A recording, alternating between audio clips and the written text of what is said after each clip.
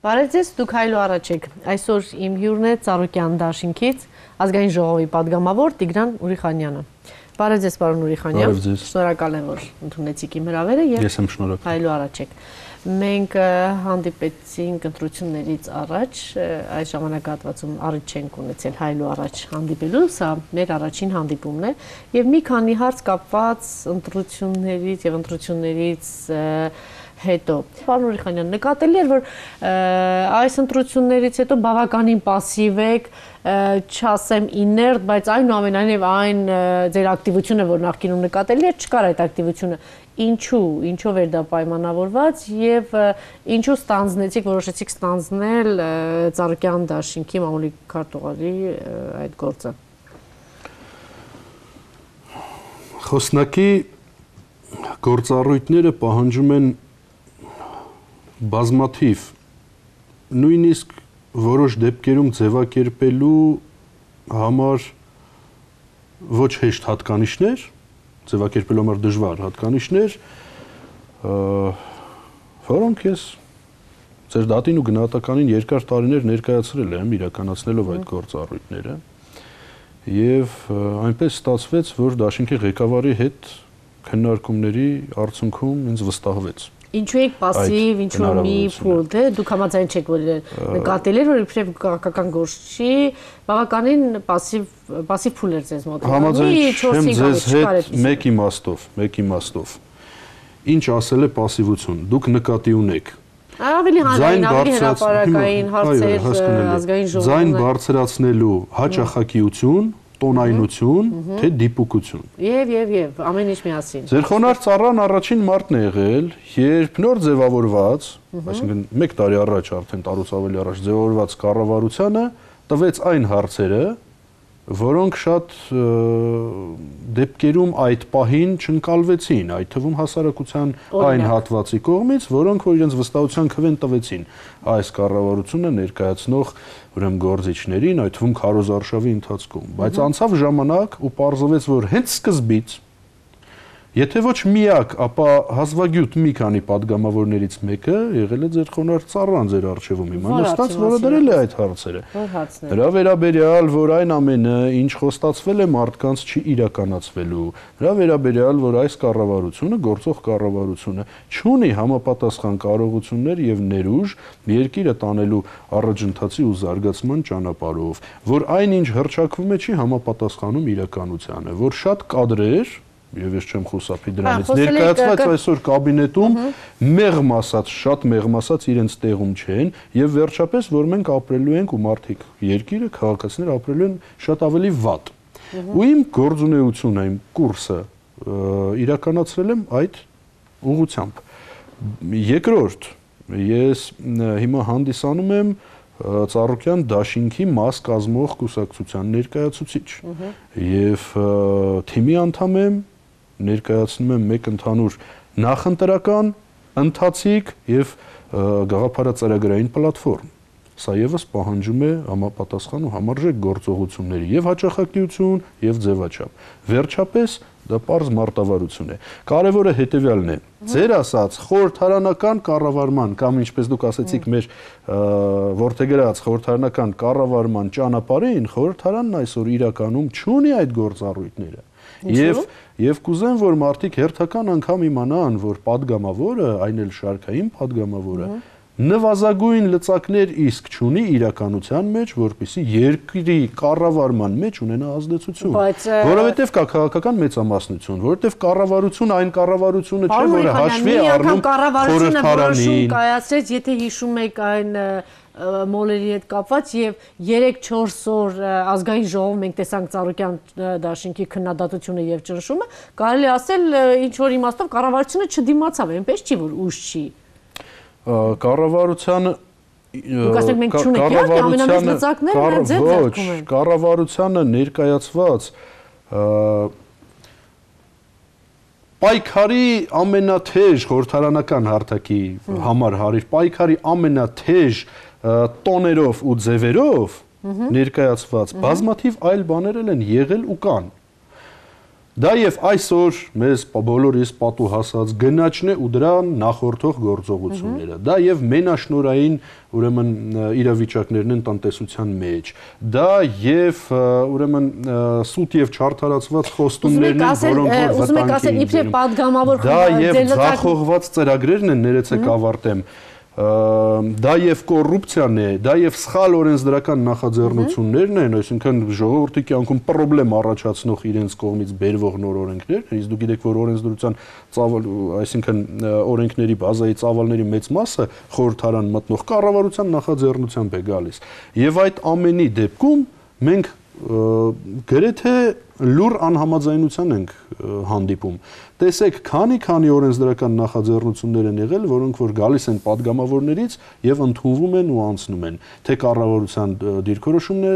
դրական լինում, թե քաղաքական մեծամասնությունն է ընդունում։ Վերջապես Միայն պայքարի համար չի որ մենք կոչված ենք։ Մենք կողմնակից ենք կառուցողական աշխատանքի, մենք կողմնակից ենք թեմատիկ քննարկումների, դրա հետևանքով product օրենսդրական product բերելու։ Նախկինում էլ, տեսեք ինչի համար են քննադատում ձեզ։ Նախկինում էլ, այսինքն այնպես չէ որ շատ ավելի շատ է պայքարի տարբեր ձևաչափեր կա, բայց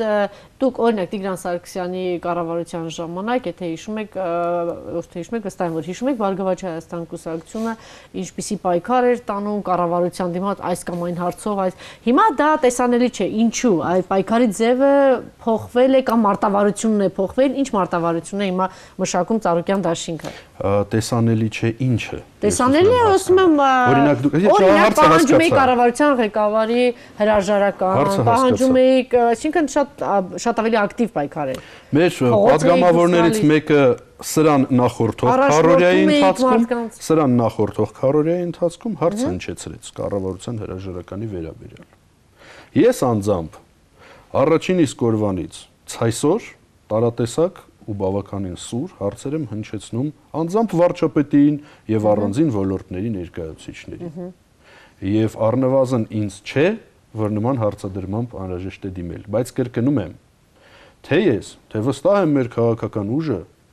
մենք անիմաստ եւ հետեւողական պայքարի պահանջի մասին եմ ասում, որ նախկինում այլ հետեւողականորեն ես ձեզ նույնիսկ կարող եմ ասել դերևս Ծառուկյանի քաղաքական ուժ ձևավորելու օրերից սկսած իր կողմից հրճակված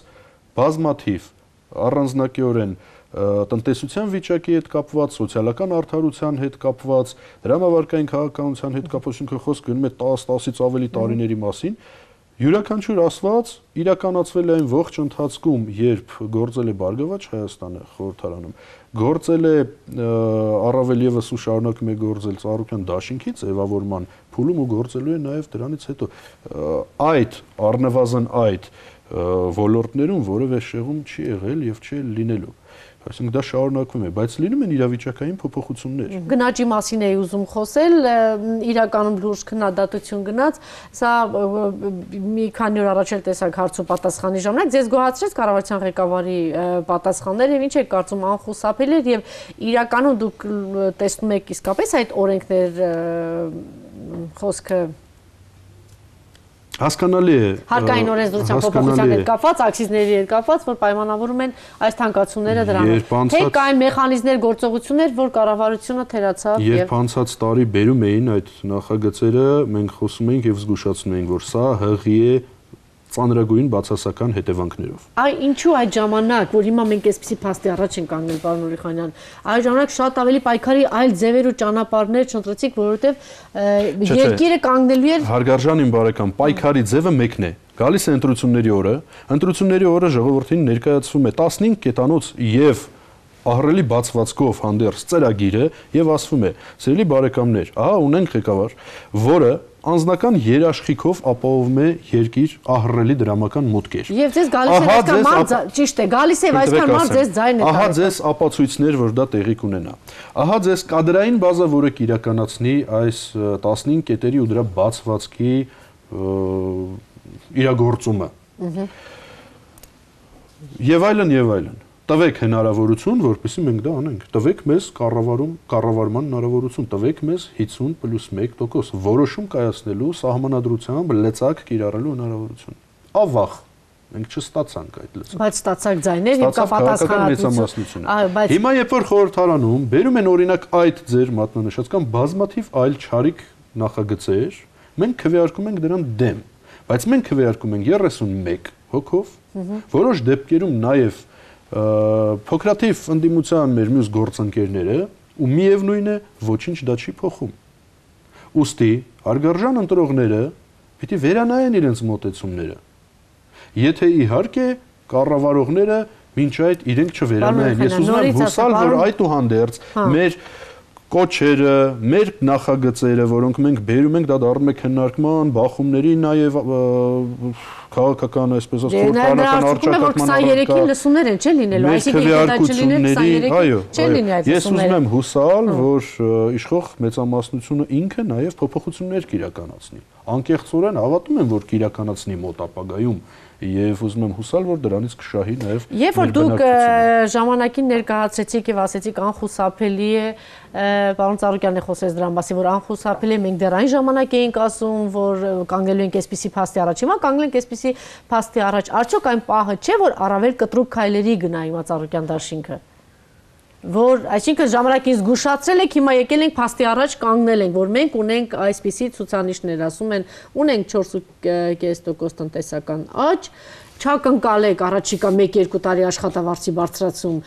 չի լինելու, բայց դրա փոխարեն լինելու է ահա ձեզ 30-ից 40 առաջին անհրաժեշտության ապրանքատեսակների թանկացում, պլյուս դիզվառելիք, բենզին եւ այլն եւ այլն։ Սա արդյոք այդ պահը չի։ Այդ պահն է, այդ պահն էր նաեւ սրանից առաջ, այնպես չէ որ Հայաստանում կյանքը լավացել էր կտրուկ, հիմա այս մի երկու ամսվա մեջ վատացավ, մենք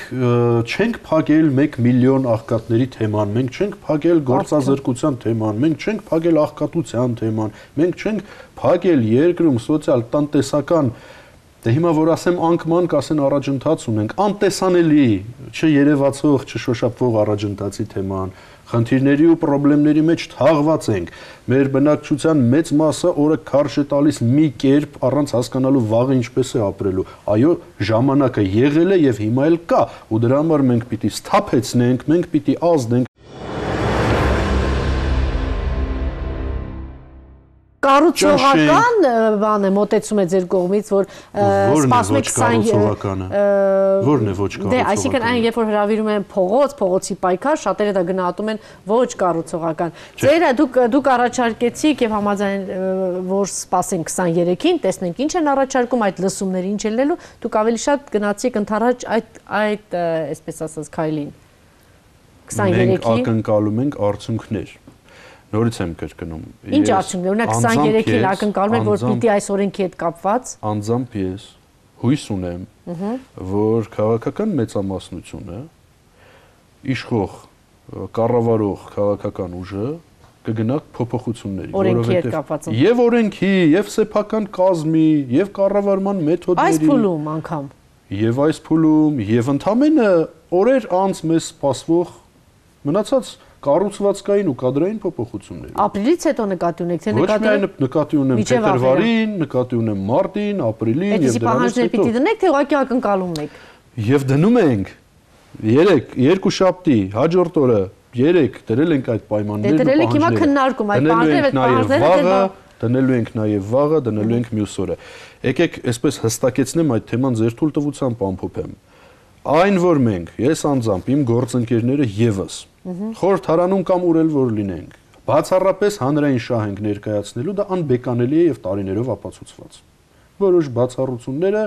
եղել են, գնացել են, կգնան ու կգան։ Այս քաղաքական ուժը իրականացնելու է ժողովրդի շահի սպասարկում։ Լավ, այս ընթացքում բայց անհաջողության ի սկզբանե դատապարտված արյունա հեղությանը տանող երկրին վնասող քայլեր մենք չենք իրականացրել եւ չենք իրականացրել։ Այս փուլում երկու առաջարկ եղավ ելքի կողմից դաշինքի, այդպիսի տպավորություն է պարոն Ուրիխանյան, որ իրենք անդա դեպի ձեզ են գալիս, դեպի Ծառուկյան դաշինքը։ Սա ձեր համար հասկանալի է, այսինքն երևի թե որտեղ մեծամասնություն ընդդիմության, հա, մեծամասնությունն է եւ պայքարը ավելի թեժ կլինի եւ գուցե նաեւ արդյունավետ։ Երկու առաջարկ մեկը նախագահի տեխնացուի հետ կապված, դուք պատասխանել եք ասելով, որ այն տրամաբանությամբ, որ մենք քիչ ենք եւ չենք կարողանա մեծամասնությունն է, մեծամասնությունը, այ եթե այս տրամաբանությամբ առաջնորդվեն, կնշանակի ընդհանրապես մյուս տեղերում էլ ինչ եք դուրս գալի պայքարի, ինչ եք առաջարկում, որովհետեւ դե եթե շատ են, այսպես թե այնպես իրենք պիտի, այսինքն իրենց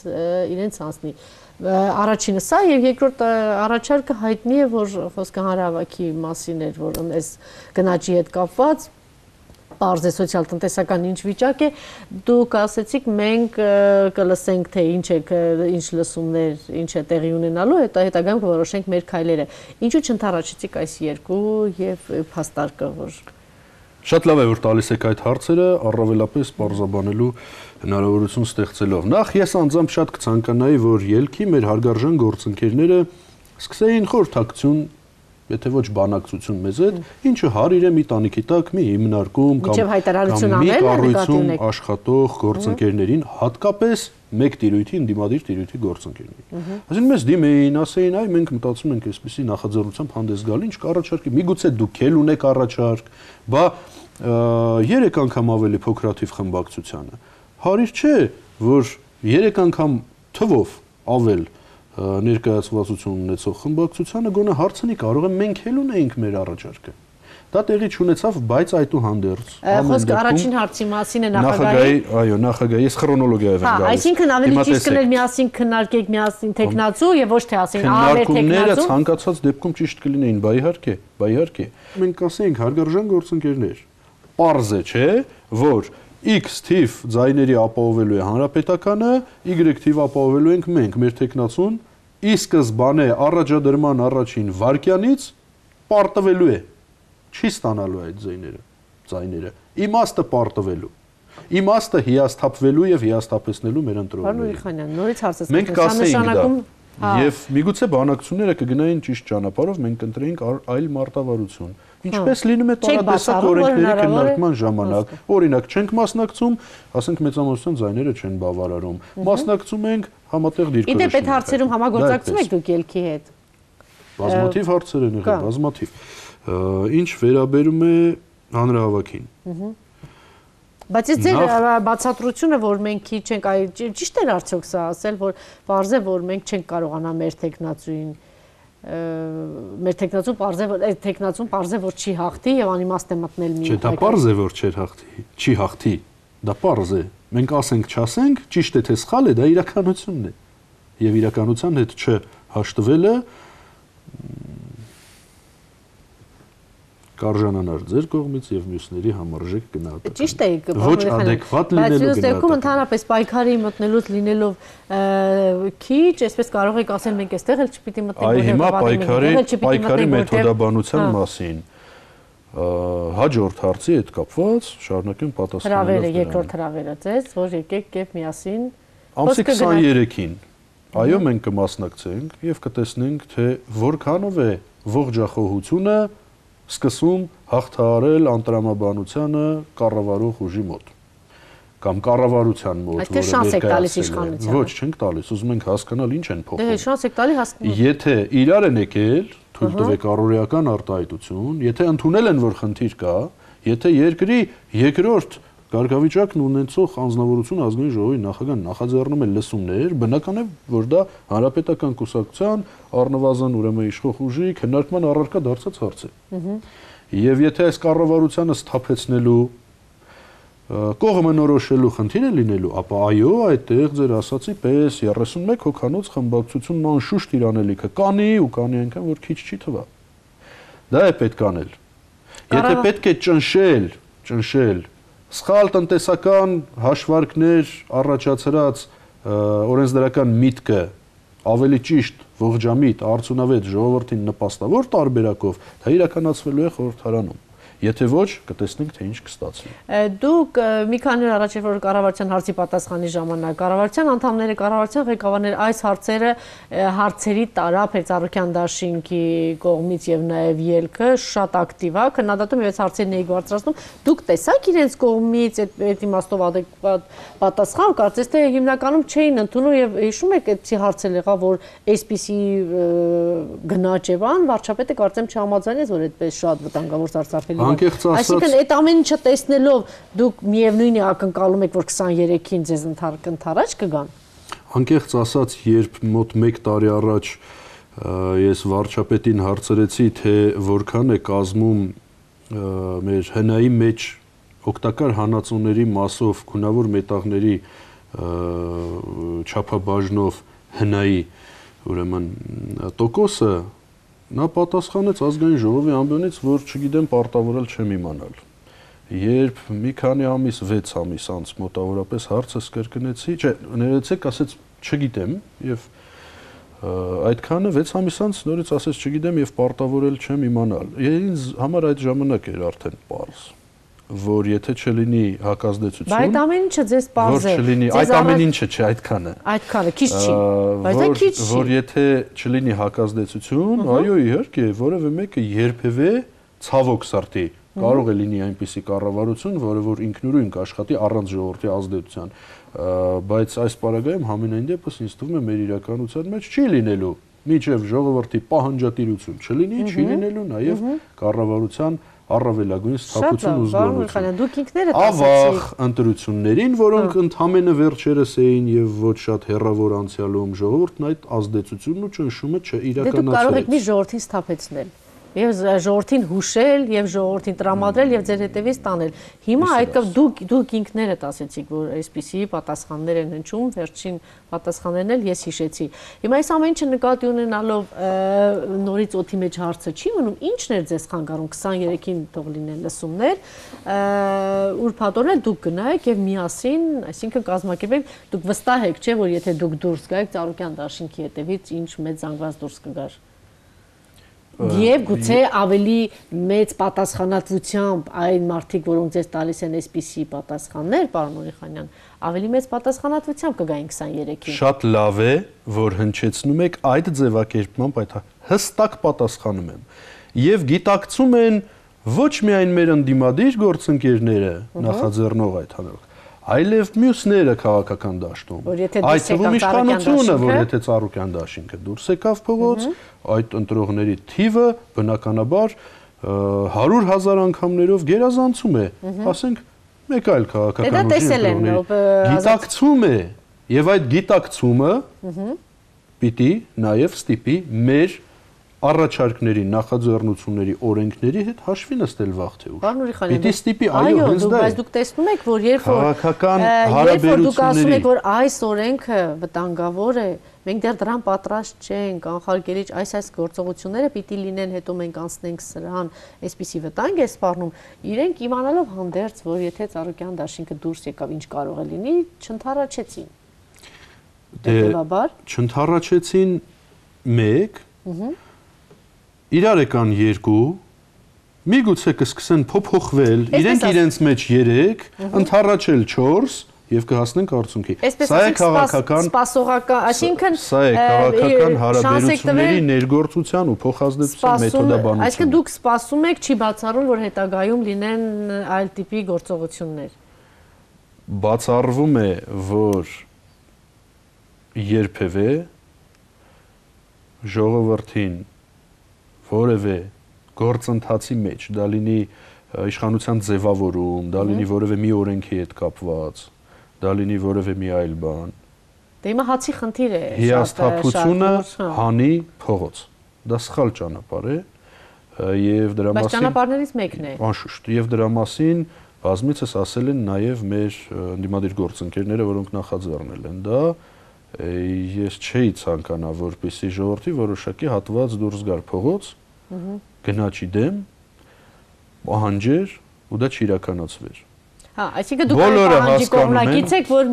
պետք է գնալ միայն ռեալ արդյունք ստանալու։ Հստակեցնում եմ, անշուշտ բոլորը հասկանում են, որ իրականում քաղաքական ազդեցության փոխզսպման եւ հակակշռման մեխանիզմերի գործադրմամբ դա կարող է լինել։ Մենք անում ենք տեսանելիորեն դա ու անելու ենք։ Պարոն Ուրիխանյան, ձեր հարց ու պատասխանից մի ուշագրավ բան ես կուզենայի մեջ բերել, որpիսի հասկանանք այսօրվա կառավարության տրամաբանությունը։ Օպտիմալացում է կրճատում է, հայտարարում են, որ չի կարող այսպիսի բեռով, այսպես պետք է մենք գնանք այդ քայլերի եւ գնում են դրան։ Դուք հարց եք տալի, ասում եք, արդյոք ունեք հաշվարկ, իշքան մարդ է աշխատանքից ազատվել, օպտիմալացումը քանի մարդու կբերի գործազրկության, դուք արդեն գնացել եք, քանի ամիս է գործում է։ Պատասխան է հնչում, որ մենք օպտիմալացման արդյունքում ոչինչ չի փոխվել, դեռ մի բան էլ մարդկանց զբաղվածությունը երկրում 40%-ով աճել է։ Ես այս տրամաբանությունը ճիշտ ասած չեմ կարողանում հասկանալ։ Հիմա ուզում եմ ձեզ հասկանալ, այսպիսի տրամաբանությամբ առաջնորդվող կառավարության հետ, դուք կառավարությունից դուք ինչ եք ակնկալում առաջիկայում, երբ որ այսպես ասած շանս եք տալիս իրենց հերթական քննարկման։ Ակնհայտ է, որ կառավարությունը պիտի փոխվի։ Այս կառավարությանը տրվել էր հիանալի շանս, նորովի մուտք գործելու հայկական քաղաքական իրականություն եւ նախընտրական շրջանն էլ դրա համար շատ պարարտ հողեր ու հնարավորություն իրականում ռեֆորմներ բերել, իրականում որակյալ կադրեր բերել, իրականում արդյունք տալ։ Դա տեղի չունեցավ։ Անձամբ ինձ համար դա երևում էր ի սկզբանե եւ դրա համար էլ կային իմ քննադատական ելույթները, սուր հարցադրումները եւ պահանջատիրական դիրքորոշումը։ Հիմա դա արդեն པարզ իրականություն է եւ ապացուցված, այսինքն կառավարությունն ինքը պիտի վերափոխվի թե կադրերով, թե ծրագրերով։ Դա ակնհայտ իրականության պահանջ է։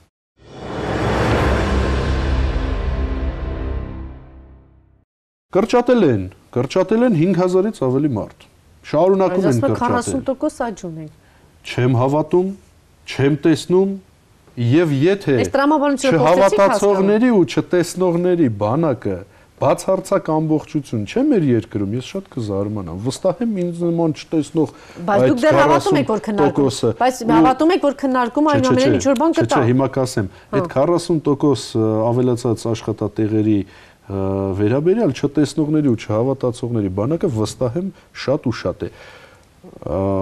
ոչ թե հավատում ենք, ես ասացի, որ ես ուզում եմ հուսալ, որ իշխող ուժը ինքը վերափոխվելու է, վերափոխելու իր մոտեցումը, բայց մեզանից մնում է շարունակել պահանջել, պարտադրել, առաջարկել եւ համագործակցել, եթե կընդունեն մեր առաջարկները։ Շատ լավ։ Եվ հիմա շատ կենտրոնացել են այս թեմայի վրա նախ 1000 դրամների հետ կապված, որ հավաքեցին, մեծ քննադատություն կար, այնուամենայնիվ օրենքը ընդունվեց եւ վերջերս էլ պաշտպանության նախարար բավական հաճախ է, հա, այսպես ուշադրության կենտրոնում հայտնվում, հայտնի է այդ եւս մեկ անգամից վերջերս դրամա դրամա հավաք տեղ ունեցավ եւ քննադատության արժանացավ, չգիտեմ, դուք ոնց եք վերաբերվում այս քայլին։ Նախ ձեզ ասեմ, որ Սա նշանակում է, որ այդ 1000 դրամների այդ քաղաքականությունը չարթարացրեց իրեն, թե կապ չունի։ Տեղեկացնեմ ու մեր հարգարժան հերոստադիտողներին, որ ես ինքս խորհրդարանից միակ ներկայացուցիչն եմ այդ մի քանի հոկանոց հոկաբարձուների խորհրդի կազմում։ Եվ զինծառայողների սոցիալական ապահովության այդ հիմնադրամի, որը իրականացնում է շատ հաճախակի բարբերականությամբ հսկողություն եւ գործունեության նկատմամբ եւ ընդունում է որոշումներ քվեարկությամբ գործառույթների մասով եւ հատկապես գումարների լինելու շարժի ավելացումների, նվազումների վերաբերյալ։ Վստահեցնում եմ ձեզ, որ ոչ թե մեկ այլ կես լումա չի կարող այդ հիմնադրամից ոչ միայն գնալ չարթարացված ուղությամբ, առավել եւս անհետանալ։ Քննադատեց, որ ինչու է պաշտպանության նախարարությունը կան հիմնադրամներ, պաշտպանության նախարարը անձամբ կան հիմնադրամներ, կա այսպիսի մեխանիզմ կա, այսինքն սա է եւ հատկապես պաշտպանության նախարարի այդ պատասխանը չհնչեցնել։ Ինչ վերաբերում է հիմնադրամին, ասում եմ, ես որպես Ծառուկյան դաշինքի ներկայացուցիչ, ոչ մեկ բան չի ասում հիմնադրամի մասին, խոսքը այս ձևի հիմնադրամից հարցրեցիք։ Չէ, այս այս ձևով Ինչ վերաբերում է այդ ձևին, այդ հարցը պետք է ուղղել պաշտպանության նախարարին ես պաշտպանության նախարարությունից։ Չէ, ձեր գնահատական հարայի մեծ հնչեղություն ստացավ սա։ Դա ճիշտ քայլեր, մարդկային ճիշտ քայլեր, թե պաշտպանության։ Եվ լիազորված չեմ, որպես քաղաքացի պատգամահայտնելու։ Իմ տեսակետը հետեւյալն է։ Հավանաբար նախարարն ունեցել է լավ ցանկություն աջակցելու, թե այդ ցանկությունը իրականացվել է ինչ ճանապարհով, դա արդեն այլ հարց է։ Ես ուզում եմ հավատալ, որ ծանր կացության մեջ հայտնված մարդկանց օգնելու պորտկումն է նման քայլերի պատճառ դառնում։ Եվ այդ պատճառով, այդ իմաստով իրավունք չունեմ քննադատելու կամ վատաբանելու։ Գիտեք ինչ, եթե դուք ինձ որևէ բանով ցանկանաք օգնել, Աստված մի արածցե մի վատ ճակատագրական լուրջ վատ վիճակում իմ հայտնվելու դեպքում, ձեզ մոտ չստացվի կամ ուզում եք անել լավը ստացվեց ինչպես միշտ բանաձևով, դե ես ինձ թույլ չեմ տա ձեզ վատաբանել։ Առանձին գործողությունների մասով հա շատ կա ասելիք, բայց դա իմ տիրույթը չէ ներեցեք։ Իսկ Շուշան Պետրոսյանի հայտարարությունը եւ կոչը դերթա պատճառը ո՞րն է եղել։ Վատ բան անելու ցանկություն են ունեցել, դատապետեք, վատ մեթոդաբանությամբ են արել, էլի դատապետեք, բայց դա իմ տիրույթը չէ։ Ինտրիգը մնում է ապրիլը, տեխնացուների անուններ է շրջանառվում։ Ձեզ հետաքրիր է թե դուք ինչպես հայտարարեցիք, որ Ծառուկյան դաշինք այսքան թե դուք մեծամասնությունը պիտի որոշի, դուք այս պարագայում կլինեք դիտողի դերում, թե ով կլինի նախագահի տեխնացուն եւ նախագահ ընդհանրապես թե կարևորում եք եւ այնուամենայնիվ որոշակի մասնակցություն կամ գուցե չգիտեմ ձեր կարծիքը կհայտնեք կամ գուցե ձեր հնարավորությունը ձեր լիդեր առանձին կարծիքը հայտնելու Ես իմ առանձին կարծիքը անշուշտ հայտնելու եմ մեր ներքին քննարկումների ժամանակ, ունեմ այն դե Անդրադարձել եք այս թեմային, թե դեռ շուտ է չեք անդրադարձել։ Ունեմ այն առհասարակ երևույթի հետ կապված եւ ունենալու եմ որևէ տեխնացուի պարագայում բայց ներսում քննարկում դեռ չի եղել եւ ինչպես ասեց Դաշինքի ղեկավարը կլինի, երբ որ մեծամասնությունը, որին ժողովուրդը տվել է այդ իրավասությունը, կներկայացնի իր տեխնացուին։ Չեն կանրադարձել դեռ։ Իսկ այն որ պատկերը որ ներկայացրեց նախագահ, այսինքն տվեց այս ասած հատկանիշները պիտի պիտի ունենա նախագահ, ձեզ բավարարեց այդ ինչ որ ներկայացվեց։ Եվ այնտեղ մի կետ կար ուշագրավ քաղաքականության մեջ չի եղել։ Հետաքրքիր է նախագահ ենք ունենալու, որը նախկինում քաղաքականության մեջ դժվար է գտնել էլ այդպես քիչ թե շատ հանրային մարդ, որ պիտի լինի նախագահ եւ քաղաքականության մեջ չի եղել։ Լավ կլինի, որ այդ եւ բազմաթիվ այլ չափանիշներ դե քաղաքականություն բան նկատի չունեմ, նկատի ունեմ մարդկային կամային բարձր հատկանիշներ, կրթվածություն, տիրապետում ոչ միայն լեզուների, այլև բազմաթիվ այլ տեղեկությունների, տեսական եւ կիրառական, ամենակարևորը սիրտ ու հոգի բարոյականություն ու մարդկայնություն ունեցող մարդիկ այդ հատկանիշներով լինեն եւ նախագահի պոստին, եւ վարչապետի, եւ նախարարների, եւ падգամավորների։ Դա բարձր, բայց այնտեղ է կարևոր կետեր քաղաքականության մեջ չի եղել։ Եվ դուք ընդհանուր հարց տվեցիք, հա։ ասում եմ, եւ շատ լավ կլինի, որ ոչ միայն նախագահը ավախ արդեն նվազեցված լիազորություններով, սիմվոլիկ, այսպես ասած, գործառույթներով եւ մնացածները եւ մնացածները ուրեմն արժանի լինեն ժողովրդի բարձրագույն ներկայացուցիչը լինելու։ Ձեզ մոտ հասարակական Ինչ վերաբերում է քաղաքականության հետ առնչություն չունենալը։ Կուսակցական չի եղել քաղաքականության մեջ։ Ես ինքս քաղաքական մարդ եմ, առնվազն արդեն 18 եւ ավելի տարիներ, ես ինքս կուսակցության ներկայացուցիչ եմ եւ բնականաբար ինձ համար պիտի խորտ լինի ապա քաղաքական պետական դեմքի գաղափարը, բայց այդ տրամաբանությունը հասկանալի է։ Այդ տրամաբանությունը, մոտեցումը, այսպես ասեմ, այդ մոտեցումը քաղաքականության իմ որոշելու հարցը չէ։ Եթե լիներ իմ որոշելու հարցը, ես կներկայացնեի իմ դիրքորոշումը, որն ասացի։ Բայց եթե ներքին քննարկման ժամանակ դուք եթե իսկապես այդպիսի անց գա առաջ, դուք այսինքն ձեր կարծիքը կհայտնեք, գոնե ներսում։ Հա, իհարկե, եւ հիմա էլ ես ընդհանուր իմ պատկերացումը։ Դժվար է պատկերացնել, որ քաղաքական մարդ չլինի։ Դժվար է պատկերացնել, որ քաղաքականության մեջ չի եղել, գալու է լինի նախագահ։ Կարող է լինել ոչ հա։ քաղաքական մարդ, եթե նա բարոյական է, կիրթ է, փորձառու է, պետական, չի եղել, պետական կարևորը ուրեմն առանցքը կրող մարդ։ Այսինքն հնարավոր է, դուք էլ ընդունեցիք, որ հնարավոր է, կարող է, եթե ունի այն արժանինքները։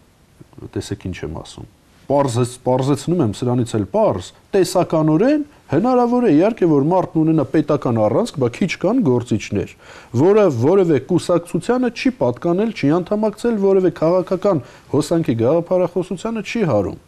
Հնարավոր է, այո, բայց քիչ կան པարծանքի արժանի մարդիկ, օրինակելի մարդիկ, որոնք քաղաքական են եւ կարող էին լինել ու կարող են լինել։ Ինչու ոչ։ Լավ։ Եվ վերջին հարցս շատ է հիմա խոսում դրա մասին, որ սրտնեղատություն կա Ծառուկյան դաշինքում, հատկապես կապված ապագա կոալիցիայի, այսօր կոալիցիայի հետ կապված, որ 7 անդամ ունենալով դաշնակցությունը կոալիցիայում ունի այդքան տեղեր, նախարարականներ, իսկ Ծառուկյան դաշինքը ոչինչ կասեք սրա մասին եւ ապագայում պատրաստվում եք հնարավոր է թե հնարավոր չի թե այնպիսի տրամադրություն է որ արդեն իրենք բոլոր տեղերը զբաղեցրել են եւ շարունակելու են զբաղեցնել։ Շնորհակալություն հարցի ու հատկապես հարցադրման համար այդ սրտեղվածության պահը ինձ հետաքրքիր։ Մամուլում հաճախ է գրվում դրա համար։ Գեներացվել հա։ դե հիշում եք ես նաեւ պատիվ եմ ունեցել ձեր ակումբում դրա մասին խոսելու։ Այ լավ ասեցիք բոլոր տեղերը զբաղեցված են։ Ոչ, ոչ, ոչ, ոչ, ոչ։ Տեղերը զբաղեցնելու համար պետական կառավարում մենք չենք գնալու։ Տեղերը զբաղեցնելու համար չենք գնացել, տեղեր չզբաղեցնելու համար կոալիցիա չենք կազմել, նախորդ գումարման ազգային ժողովի ձևավորման ժամանակահատվածում եւ դրանից էլ հետո։ Եվ ձեզ մոտ էլ ես առիթ ունեցել եմ ասելու, որ տեղեր, այսինքն պաշտոններ զբաղեցնելու թեմա չի քննարկվելու մեզ մոտ։ Եթե կլինի հնարավորություն, որpիսի մենք մեր ուրույն քաղաքական կուրսն իրականացնենք։ Եթե կվստահվի մեզ մեր սեփական քաղաքական կուրսն իրականացնելու մեր ընտրողներին ու մեզ չընտրողներին կյանքի որակ ապահովելու արդյունք տալու կարող է քննարկվել այդ տարբերակը եւ անշուշտ կքննարկվի, իսկ ինչու՞ չի քննարկվի կան ավանդական հարցեր, հիմա մի քիչ ձևաչափը փոխվել է կապված մենքի հետ։ Մենք վախենում ենք ինչից։ Անարթարության շարունակականությունն է։ Մեր ամենամեծ ափսոսանքը։ Շատ բան կարելի էր անել, ինչ չի արվել։ Շատ ափսոս է եւ շատ բան կարելի էր չանել, ինչ արվել է։ Կարծում եմ սրա հետ կհամաձայնեն շատերը։ Ես իրավունք չունեմ խոսելու ոչ ժողովրդի, ոչ առավել եւս ազգի ու երկրի ամոթից։ Մեր թուլությունը։ Անշուշտ ամանչելու բաներ ունենք սակայն։ Այ մեր թուլության մասին թույլ տվեք փորձել։ Թույլ տվեք փորձել բացարձակ միասնականության անհրաժեշտություն ունենք, բացարձակ։ Ուժը մեր բացարձակ միասնականության, ինչը չենք իրականացնում։ Իսկ մեր ուժը ծայրահեղ վտանգի դեպքում ազգովի կտրորենք յուրաքանչյուրի քիթը, ով կփորձի ոտնձգել, ոտնձգություն անել մեր երկրի կամ ժողովրդի նկատմամբ։ Եվ մեր հավատը։ Աստված, սեր, համերաշխություն, մարդկություն, արդարություն։ Շնորհակալություն, պարոն Ուրիխանյան։ Ես եմ շնորհակալ։ Շնորհակալ եմ։